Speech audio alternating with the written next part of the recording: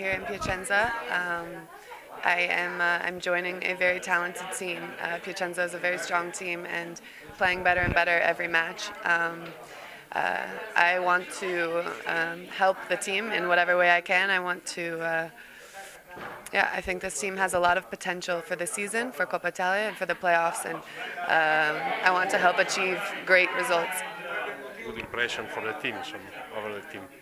My impression for the team, um, the girls are very, very nice. Uh, as people, they're good people, but um, also as com uh, competitors and as athletes, as professionals, um, they are uh, very admirable.